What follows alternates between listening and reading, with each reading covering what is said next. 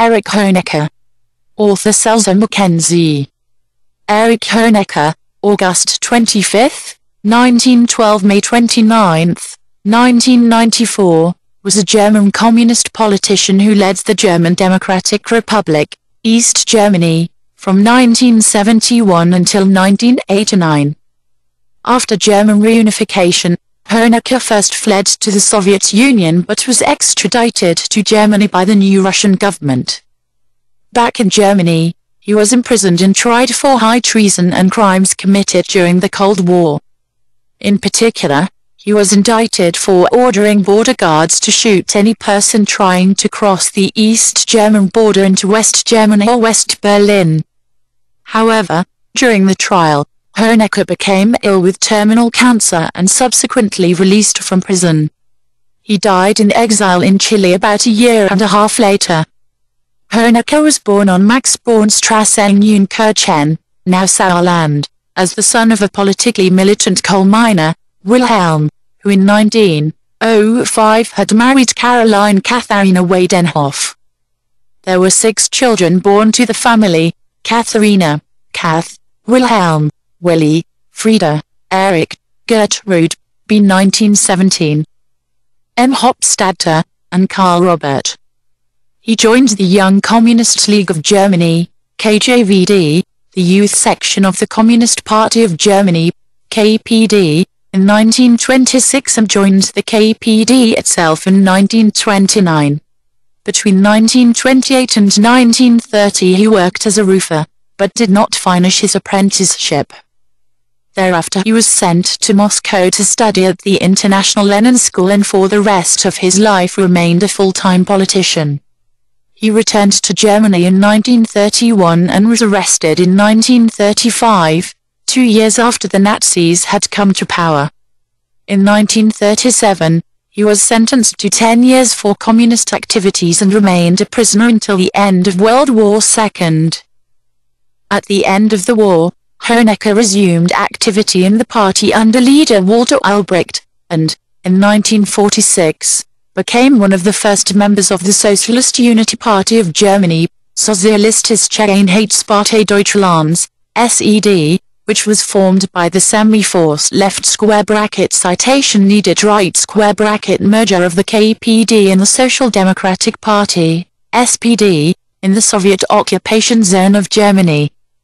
Following the SED victory in the October 1946 elections, Honecker took his place amongst the SED leadership in the first post-war East German parliament, the German People's Congress, Deutscher Volkskongress. The German Democratic Republic was proclaimed on 7 October, 1949 with the adoption of a new constitution, establishing a political system similar to that of the Soviet Union. Honecker was a candidate member for the Secretariat of the Central Committee in 1950. By 1958, he had become a full member of the Politburo. In 1961, Honecker, as the Central Committee Secretary for Security Matters, was in charge of the building of the Berlin Wall. In 1971, he initiated a political power struggle that led, with Soviet support, to himself becoming the new leader, replacing Walter Ulbricht as first secretary of the SED Central Committee and as chairman of the National Defense Council. In 1976, he also became chairman of the Council of State, Vorsitzender des Staatsrats der DDR, and thus the head of state. Under Honecker's leadership, the GDR adopted a program of consumer socialism, which resulted in a marked improvement in living standards already the highest among the Eastern Bloc countries. More attention was placed on the availability of consumer goods, and the construction of new housing was accelerated, with Honecker promising to settle the housing problem as an issue of social relevance. Left square bracket 1 right square bracket yet, despite improved living conditions, internal dissent was not tolerated. Around 125 East German citizens left square bracket citation needed right square bracket were killed during this period while trying to cross the border into West Germany or West Berlin. In foreign relations, Honecker renounced the objective of a unified Germany and adopted the defensive position of ideological Abgrenzung, demarcation. He combined loyalty to the USSR with flexibility toward Detente, especially in relation to rapprochement with West Germany. In September 1987, he became the first East German head of state to visit West Germany. In the late 1980s Soviet leader Mikhail Gorbachev introduced Glasnost and Perestroika, reforms to liberalize communism.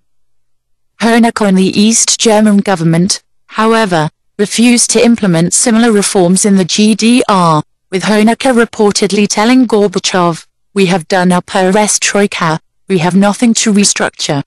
Left square bracket to right square bracket however, as the reform movement spread throughout Central and Eastern Europe, mass demonstrations against the East German government erupted, most prominently the 1989 Monday demonstrations in Leipzig.